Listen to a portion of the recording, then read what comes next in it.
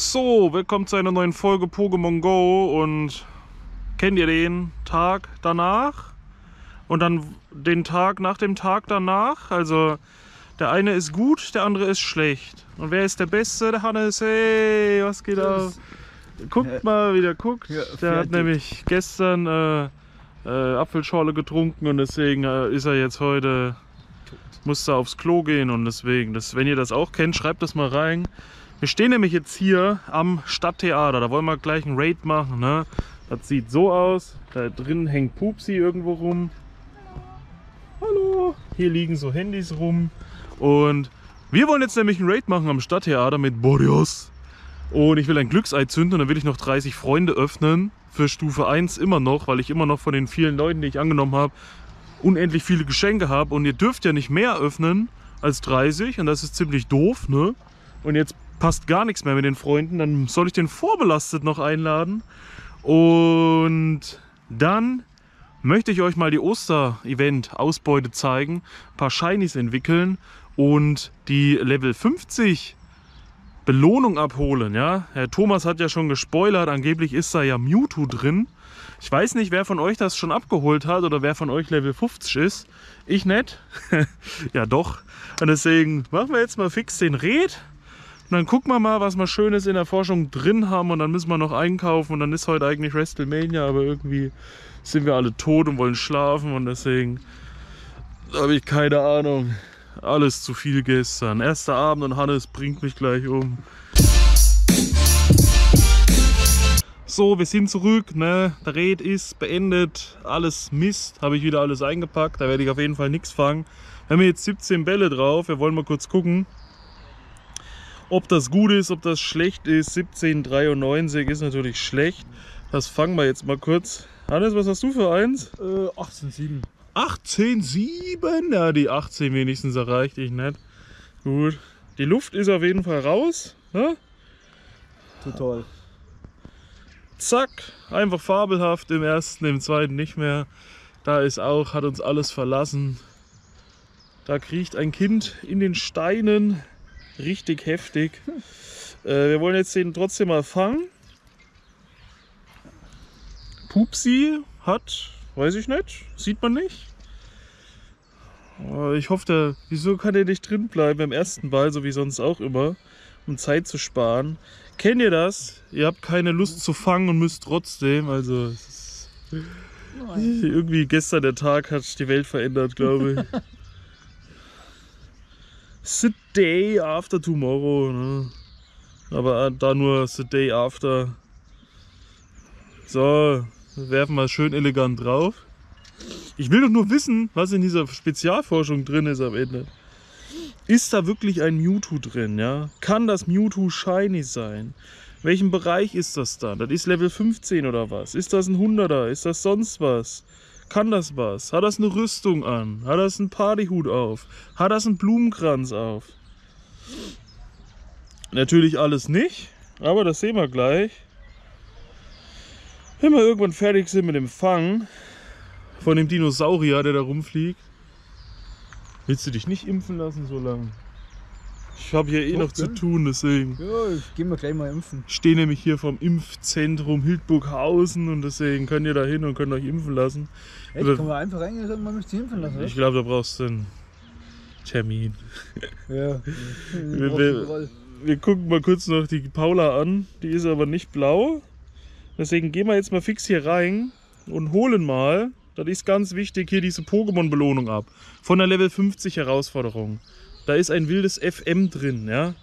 Das ist wichtig, deswegen nehmen wir das auch mit. Mit gelbem Ball. Ungefähr so. Übrigens hier der Adi wieder Hackfleisch aus meiner Hand gemacht. Dem war der Tag gestern war auch zu viel, deswegen hat er heute gezeigt, was gestern wir verpasst haben. Und das ist schlecht, aber wir haben ja noch die Kapitelbelohnung am Ende mit einer neuen Pose und mit einem XL Sonderbonbon oder was das ist, gedreht mit Pokéball. Uh, Braucht man sowas? Ich weiß es nicht. Ich weiß gar nicht mehr, welche Pose ich habe. Ein wildes Mewtwo erscheint. Wildes Mewtwo gefangen. OMG. Und da würde ich sagen, nehmen wir eine gelbe Beere für die doppelten Bonbons, weil das kann ja nicht fliehen. Und nehmen einen roten Ball. Das ist der geringste Ball, den es gibt. Wir gucken mal, wie lange wir brauchen, bis das drin ist. Äh, der. Toll. Der Kreis ist knüppelrot, wollte ich sagen. Heftigste, was es gibt. Und dann ist es im ersten Ball drin, wegen Critical Catch. Wenn ihr das nicht kennt, das ist ein Critical Catch, ne? Da ist das einfach drin und das war's. Und es ist ein 11, 15, 10. Also es ist auf jeden Fall schlecht und kann Fokusstoß. Und am liebsten würde ich es jetzt verschicken, aber vielleicht kann man es ja mal aufheben. Vielleicht braucht das noch jemand. Und gleichzeitig wollen wir jetzt mal in der Vergangenheit schauen, Shinies und die Osterausbeute uns angucken. Wir haben nämlich bekommen, pass auf hier, wir haben einen Skoppel hier oben mit 352. Wir haben hier unten eins mit 335. Das heißt, wir haben ein Shiny Skoppel, was wir wieder so lassen, wie es ist. Wir nehmen ein Shiny Skoppel und entwickeln das. Natürlich entwickeln wir das höchste zu Shiny Grabbit. Das ist das Ding mit dem Bierfass auf dem Bauch, ne? Was dann halt jetzt irgendwie Farbe verliert. Irgendwie ist das Bier jetzt abgestanden, wenn ihr es entwickelt als Shiny. Ansonsten finde ich das eigentlich ultra cool. Und jetzt hat es halt Kakao. Das Shiny hat ein Kakaofass. Ja, kann man, kann man mögen, kann man nicht mögen. Ne? Ich finde immer noch das normale Grabbit auf jeden Fall am heftigsten. Dann haben wir hier Chanera mit Blumenkranz. Wir haben eins, wir haben ein höheres, das höhere entwickeln wir wieder zu Hytera mit Blumenkranz. Und dann habt ihr schon gesehen, wir haben noch einen Wunera mit Blumenkranz. Grüße gehen raus an FC Mary, der mir das getauscht hat im Stream direkt. Also ich habe so viele Eier gebrütet, nichts ist passiert, alles für die Tonne. Jetzt haben wir Hytera hier am Start, wir haben das Chanera am Start, wir haben hier FC Mary am Start, also die Familie ist auf jeden Fall voll. Wir haben Krebit und Skobbel am Start, das ist auch voll. Wir haben es endlich geschafft, hier Habitak und Ibitak. Ibitak hatte ich ja als Lucky Shiny, war Mist, deswegen habe ich jetzt nochmal ein zweites bekommen. Grüße an den Till, ne, aka Gamer, der mir das noch besorgt hat. Geronimatz habe ich bekommen vom Laugenbroten. Denn da habe ich auch ein Geronimatz gehabt und ein Lucky Waschkabil oder wie das heißt. Aber Lucky wisst ihr ja, wie ich zu stehe. Und deswegen habe ich jetzt noch ein zweites, was ich dann auch entwickeln kann. Wir wollen mal kurz gucken nach Geronimatz. So, wir gehen auch mal Entwicklungsreihe. Jetzt seht ihr hier, das ist klein, das ist groß, deswegen entwickeln wir hier auch das Größte, dass die Reihe wieder voll ist, dass die Familie voll ist mit Geronimats Shinies. Habt ihr ein Shiny Geronimats? Viele haben damals Raids gemacht. Andere haben Feldforschungen dieses Mal gemacht. Andere haben versucht Eier zu brüten. Hast du ein Geronimats Raid gemacht?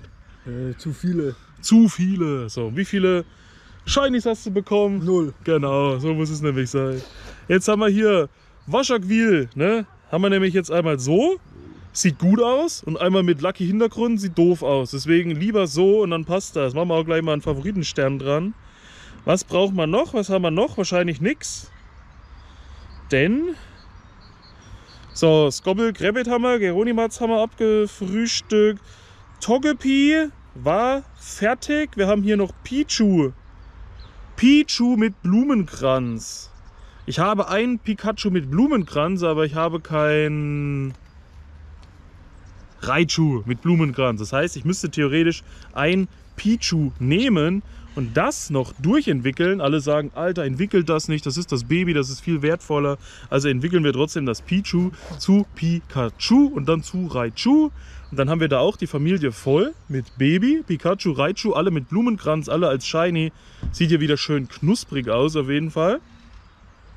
Und noch einmal drücken ich hoffe, es ist kein Fehler. Im Endeffekt hatte ich das vielleicht doch schon und habe es nicht gerafft. Nein, dürfte ich eigentlich nicht gehabt haben, egal. Und dann sind wir eigentlich mit dem Osterevent komplett durch und haben alles erreicht. Danke auf jeden Fall an die Leute, die da geholfen haben. Danke, dass man, wenn man eine Community gibt, auch mal was zurückbekommt, sozusagen. Es klingt wieder so wie, endlich kriegt man mal was zurück, ihr Schweine. Nein, aber äh, es lohnt sich halt. Und das finde ich schön. Habe ja auch gesagt, hier bei den Togepi weil dem 123-Kid das sein Lieblings-Pokémon ist und er sich so viel Mühe gibt, dass ich ihm vielleicht ein Shiny Togepi dann mal gebe, weil er die ganze Zeit danach fragt und überall alle Leute verrückt macht. Habe ja zwei gebrüdet, eins ist wahrscheinlich für Julchen reserviert, die auch immer viel gibt und viel macht für den Kanal, für mich persönlich. Und deswegen eins für Julchen, eins für den One äh, Out, Two Side, Three, Feeling 4, irgendwas. Also 1, 2, 3 Kit. Muss auf jeden Fall passen. Das war die Osterausbeute, das war die Forschung. Wir können jetzt, hätte ich fast wieder vergessen, noch kurz mal diese komische Pose anlegen. Einfach nur um zu schauen, wie die ausschaut, wenn ich die finde. Junge, Junge, Junge, bin verwirrt. Irgendwie ist schon wieder ein Freund weg. Ich habe schon wieder einen Platz. Irgendwie löschen mich die Freunde immer. Erst wollen sie alle rein und dann wollen sie alle wieder raus, sobald sie drin sind. So hier gedreht mit Pokéball. Sieht das nicht heftig aus? Nein, sieht's nicht. Das sieht aus wie, ah, ich bin hingefallen vom Fahrrad. Mein Arm ist verdreht. Ja, jetzt hat er einen an der Hose, jetzt hat er einen so, steht da wie Michael Jackson. Heftige äh, Sache. Habt ihr auch die Michael Jackson Pose? Wie sieht das denn aus? Ja, Michael Jackson. Au! Moonwalk von hinten. Mein Arm, Junge! Also, ich habe keine Ahnung, was das darstellen soll. Wir lassen das einfach jetzt mal so, wie es ist, neben dem dicken, fetten Gengar. Das war's von unserer Seite aus. Wir werden heute noch ein kleines Tasting hochladen. Wir hatten so viele Pläne für heute, aber irgendwie sind wir nicht in der Lage, irgendwas zu machen und deswegen keine Ahnung, wie es weitergeht. Wir gehen auf jeden Fall dann erstmal einkaufen. Für euch laden wir noch was hoch, was wir gestern gemacht haben und ansonsten Peace out. Vorhaut, euer Ramses und euer Hannes. Ne? Ciao. Jean Renault, zack, so muss er sein.